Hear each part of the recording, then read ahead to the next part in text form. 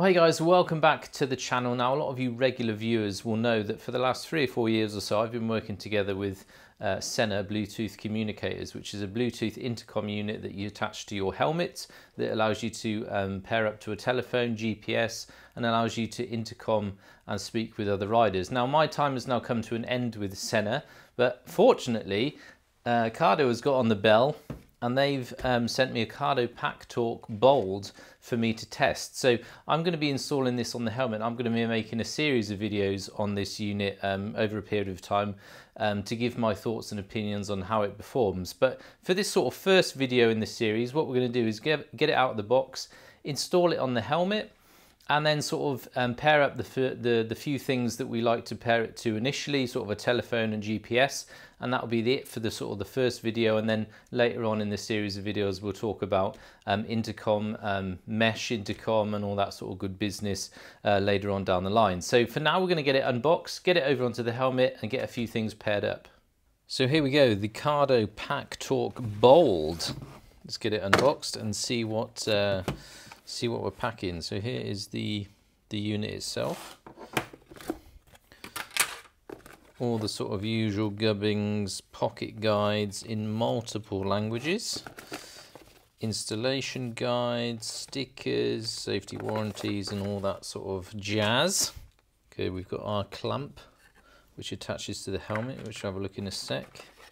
Speakers. Now this is awesome from uh, Cardo. They work together now with JBL, which uh, one of the top sort of speaker manufacturers out there. So uh, really looking forward to see uh, see how they perform. The usual normal stuff. A boom mic if you've got a, a flip up helmet. Alcohol pad, various stickies, a wired mic. So you've got a wired mic or a boom mic, depending on what helmet you use. We have some more sticky pads. These are sort of some Velcro spacers. Now that becomes apparent depending on what helmet uh, helmet you use from what manufacturer depends on what sticky pad you need to use to install the speakers inside. But we'll have a look at that in a sec over on the helmet. And this is a sticky clamp. Now basically this just means that, I don't know you can see that on camera, on a lot of these here, um, the clamp actually slips in, in between the outer shell of your helmet and through the cheek pad but on some manufacturers you can't actually get a clamp to slip in between that. It's a closed um, it's a closed helmet and you can't actually get anything in between that. So you then would uh, use the sticky clamp to stick on the side of the helmet but we'll have a look at that in a sec. So that's pretty much it. So right let's see if we can get most of this on camera I've actually removed all the inner gubbins of the helmets already. It's basically um, the headliner that just comes out of the top. Um, it's just a, a few, a few um, sort of poppers on the front and rear. Each helmet manufacturer is a bit different, so that's why I've sort of done it off camera. I don't want to teach anybody to suck eggs. Remove both the two cheek liners and the chin curtain from the front, and then that exposes the whole interior EPS of the helmet. It makes it a bit more easier to install. So First off, we're going to install the clamp. You need to figure off, figure out which side um, to mount your unit. Normally mine goes on the right hand side, so we're going to stick stick with that. So basically this, this clip slides in between, hopefully you can see that on camera, in between the outer shell and the EPS of the helmet. As I said, not all helmets you can get access to that, so it may be that you have to use then the sticky the sticky mount and that will then just stick on the side of the helmet with 3M sticky glue or sticky pads. So that is now all the way in. That's pretty pretty firm. Right, and all we need to figure out then is which uh, mic you want to use, either a boom mic or um, the wired mic. Now I'm going to go with the wire mic that connects to this one connector here, Bosh. And it comes already with um, the 3M Velcro sticky pad but because I've already had comms units mounted on the helmet, I've already got a sticky or a, a Velcro uh, pad at the front of the helmet there. So I'm just going to go ahead and stick that straight on. Don't worry about cables for now. We'll tuck that away in at a later stage. Again, the same thing um, for your um, speakers. You'll get two sticky pads to stick on the earpieces. I'm not sure if I can get, get that on camera. Probably not. But in there, there's a little circle and in uh, a little cutout in the helmet. Most modern day helmets nowadays have got a, a cutout for comms units. Um, so you just put your sticky bit of sticky bit of Velcro in there, and then you can attach your speakers. JBL. It's got to be a winner. Now you need to make sure before you start or use your comms unit to charge it up, which I've already done, and to install um, the latest firmware update on your PC, which I've already done as well, because the latest firm firmware on these is I think 5.6, and that enables you then to um, use JBL speakers. So that needs to be doing. You've always got one short and one long. Now generally the long goes over the top of the lid and is generally your cable or your antenna for your radio, and this is then the short ear down to the uh, left hand side. So what we'll do is install so that's the right hand side and then the left hand side speaker. So that's both speakers then in. Just need to then make sure you, you tidy up the cables. We'll connect it all up already.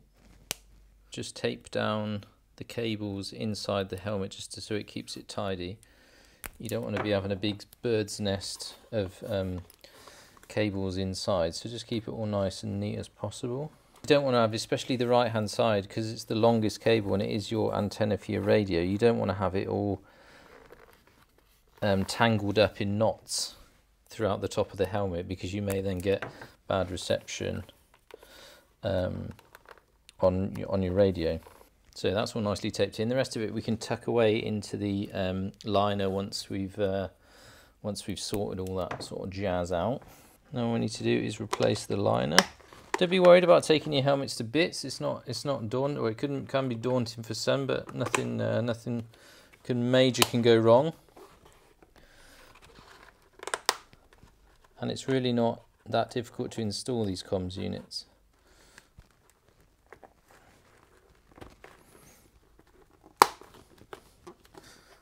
Snap that back into place you have to be careful on this side not to pinch pinch the cables. Now I've got one more other thing to install on the helmet before I'm finished to install my GoPro mic, but I shall do that at a later date. Right, and that is all there is to it. Installed on the helmet, all we've got left to do is install the comms unit itself. Bosh. And we are good to go. So, first thing we'll do is pair it with my phone Bluetooth is on so let's see if we can pair it to the phone. Press and hold the phone button for five seconds. Let's go over to my Bluetooth settings on my phone and search PackTalk Bold. There it is. Paired successfully. Paired successfully Bosh, that's one job done. Right now see if we can get it paired to my GPS so let's power that on now we have to press and hold this for five seconds. And then double tap.